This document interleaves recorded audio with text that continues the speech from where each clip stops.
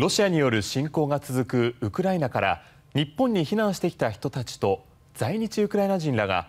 東京都内の公園で交流会を行いウクライナの平和を祈りました。昨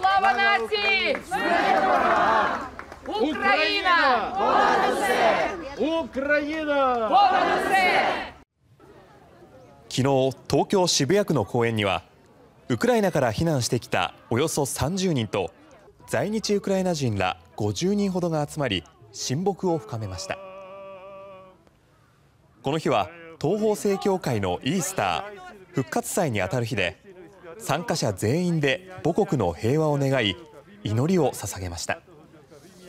что тут чувствуется домашняя атмосфера, свободно, как будто ты у себя дома. То есть, да, мне понравилось, в принципе. 主催者は 避難してきた人たちと在日ウクライナ人の交流のきっかけになればとしています。